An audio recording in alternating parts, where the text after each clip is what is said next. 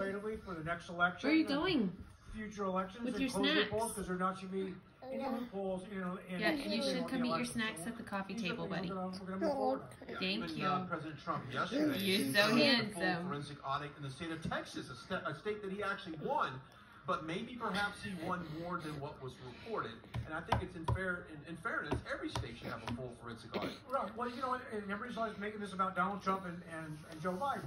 Look, I think the county supervisors were scared to death that, we would, that a down ticket would look, it would actually show that the two county supervisors did not I legally get know. elected.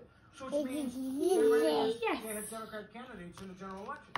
So wait a minute, didn't those two Democrat candidates get disenfranchised? People are not asking that question. So these are, look, it's free and fair. So If somebody cheated on my behalf, I, I don't want to serve.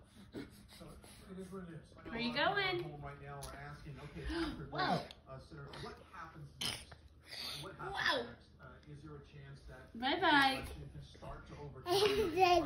Okay, bye bye now. Yeah.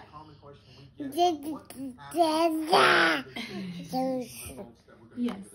Well, it's unfortunate somebody leaked out preliminary uh, uh, information out of a, an incomplete